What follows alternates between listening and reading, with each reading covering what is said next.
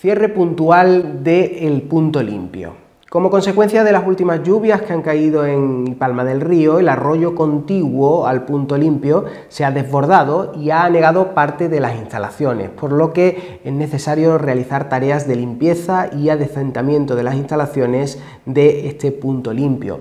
El servicio eh, permanecerá cerrado hasta que se pueda volver a transitar con seguridad por la parte anegada. Pueden seguir informados en nuestras redes sociales.